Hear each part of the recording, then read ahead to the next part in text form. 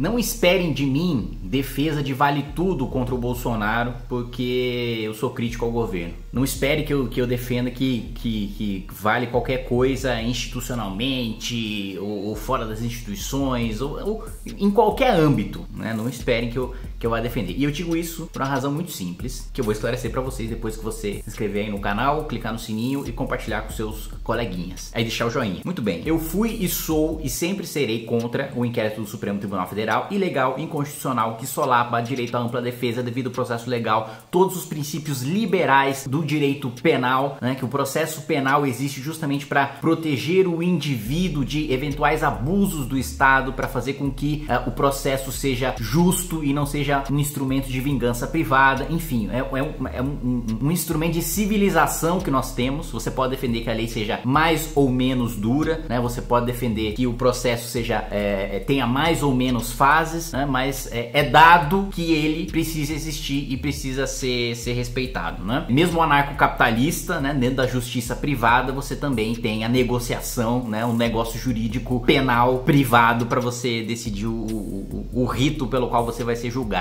né? Para que você não seja julgado por um tribunal de exceção. Muito bem. Da mesma maneira, não esperem que eu vá cair no que, na minha opinião, é uma forçação de barra da imprensa em chamar esses atos de torcidas organizadas de atos pró-democracia. Durante a minha campanha para deputado federal, eu fiz muita campanha em porta de estádio, né? E eu já fui agredida não uma, não duas, mas três vezes, né? Uma vez, inclusive, com gente de, de torcida organizada quebrando garrafa na minha cabeça, só porque eu tinha militado pelo impeachment da Dilma. E essa gente que se dizia antifascista e defensor da democracia tava lá quebrando garrafa na minha cabeça simplesmente porque eu defendia um posicionamento político diferente do que do, do deles. Né? Ah, mas você tá generalizando com base numa anedota, né? Argumento anedótico, uma coisa que aconteceu com você que você tá utilizando para é, é, desqualificar o movimento inteiro. Não porque, primeiro, nós temos o histórico, e quando eu digo histórico, tô falando da história recente, das torcidas organizadas que infelizmente protagonizam diversos né, episódios de intolerância e de violência.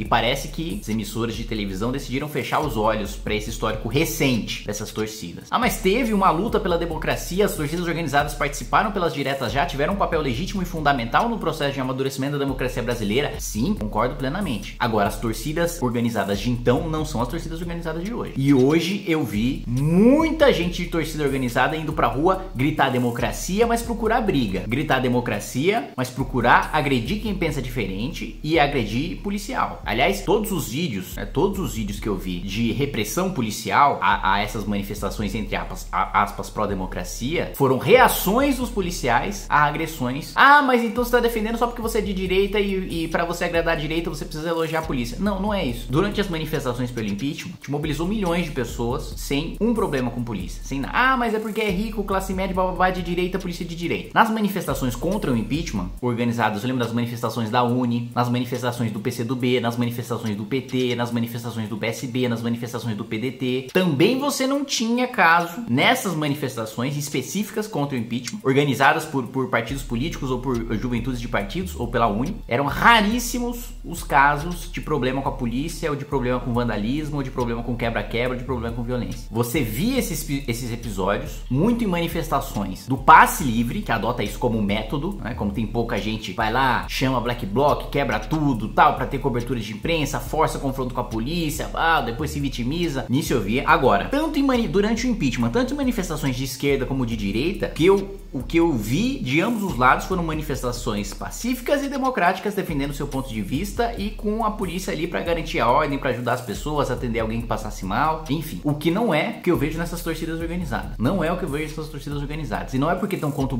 Bolsonaro e que estufa o peito para gritar democracia que agora vale tudo, vou dar razão. E mais, e mais. Né? Eu, o MBL e vários, Janaína Pascoal, Danilo Gentili, o Andreasa, o Reinaldo Azevedo, todos nós fomos extremamente críticos ao fato do Bolsonaro convocar e incentivar a manifestação no meio da pandemia, porque isso prejudica as vidas de pessoas que não tem nada a ver, que não foram pra manifestação, mas que depois vão ter contato com essas pessoas que foram nessa manifestação e estão colocando a vida dessas pessoas em risco, né? Não é uma questão de. Hoje eu vi no Twitter gente comentando: Ah, mas você aí também é um bunda mole, né? Porque você critica lá a manifestação pela democracia, mas você não tá lá que nem eles arriscando a própria vida vida para fazer isso. Gente, não tô, estão arriscando a própria vida, estão arriscando a vida dos outros. Se fosse arriscar a própria vida, eu sou liberal. Para mim, cada um arrisca a própria vida do jeito que bem entender. Né? Quer se colocar em perigo sem colocar terceiros em perigo, não tá ferindo de, não tá ferindo a liberdade, não tá ferindo a propriedade, não tá ferindo a vida de outras pessoas. Beleza, mas não é o caso de uma pandemia. Não é o caso de uma pandemia. E eu não vejo os veículos de comunicação às esquerdas que criticaram o Bolsonaro por chamar a manifestação. Ah, então mas você tá tentando relativizar, você tá tentando dar razão pro Bolsonaro? Não, quero que o governo Bolsonaro caia, que o Bolsonaro seja preso. Esse é o meu posicionamento também. Porque é, é, é um saco também o debate público hoje, porque sempre você precisa ficar, ficar no meio da explicação pagando esses pedágios, né? Pra, an antes que a pessoa venha com, com a teoria de que, ah, não, então ele tá, alguma coisa mudou, tava tão crítico ao Bolsonaro, agora ele tá criticando críticos do Bolsonaro, parece que alguma coisa tá, tá querendo se alinhar, tem alguma coisa por trás, né? Não pode ter uma opinião mais livre, né? É, é, é, sem fazer esclarecimentos óbvios. Uh...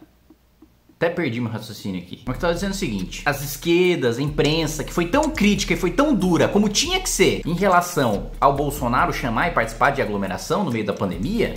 Até que é hoje que o celular vai no meio da pandemia, não, não foi tão crítica assim. No máximo era uma nota, o que eu vi hoje foi no máximo foram notas de rodapé, né? Apesar das recomendações do Ministério da, da, da Saúde, apesar das recomendações da OMS, foi promovido um ato pró-democracia. Né? Que, mais uma vez, ah, mas eles gritavam pela democracia. Até aí, Bolsonaro já discursou pela democracia, Bolsonaro já jurou cumprir a Constituição, Maluf já falou que nunca roubou. Falar, qualquer um fala qualquer o que bem entender, né? A, fala, suas cordas vocais aceitam aquilo que você ordenar. Então, o caminho deste deste canal, deste deputado federal que vos fala, o que eu acredito hoje, neste dia, nesse momento, ah, no futuro eu posso mudar de, de, de pensamento, claro, eu tenho 24 anos, daqui a 10 anos, com certeza, alguma, não é possível que eu pense exatamente como eu penso hoje, né? Se, se de semana a semana eu revejo opinião sobre alguns assuntos, não, é óbvio que eu não vou, né, também dar, dar, dar um, um giro de 180, né? Também não vou achar num dia ser liberal num dia e no outro dia é, é, do nada virar comunista, né? Mas é, analisar algumas opiniões, óbvio, né? Mudar de opinião, prerrogativa de quem pensa, né? Salvo engano, Nelson Rodrigues. Grande Nelson. Posso mudar daqui a 10? Posso. Mas hoje o posicionamento deste canal é o seguinte: enfrentamento ao Bolsonaro, beleza. Porém, tanto enfrentamento ao Bolsonaro como ao petismo e às esquerdas, qualquer tipo de autoritarismo, qualquer tipo de regime, qualquer tipo de partido político, dentro dos seguintes valores. Esses são os valores deste canal, esses são os valores de Kim Kataguiri. Estado Democrático de Direito, livre mercado, império da lei. Império da lei poderia até ser absorvido ali pro Estado Estado Democrático de Direito. Mas vamos colocar esses três. Então, é dentro da lei? Tá dentro do, do, do rito, passou pelo processo legislativo. Posso até discordar da lei. E, e, e, discordo de boa parte delas, da maior parte delas até. Agora, respeito, houve aquele rito e para eu discordar daquela lei e para mudar aquela lei, eu preciso seguir aquele rito também. Estado Democrático de Direito. Né? Livre mercado, óbvio, livre mercado porque, porque funciona, né? Não é porque eu gosto, acho bonito. Porque é o que é, é pragmático. Né? Dentro desses valores, sim. Fora disso,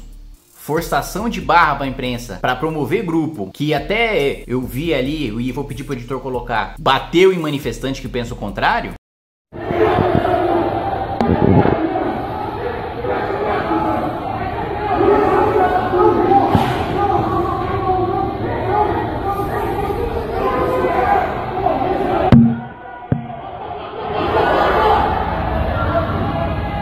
e eu senti na pele isso na minha campanha, aí, meu amigo, aí não, aí não. Quer mudar as coisas na porradaria, quer mudar as coisas na, no pau, né? Quer mudar as coisas tacando pedra na polícia? Não conta comigo pra isso não.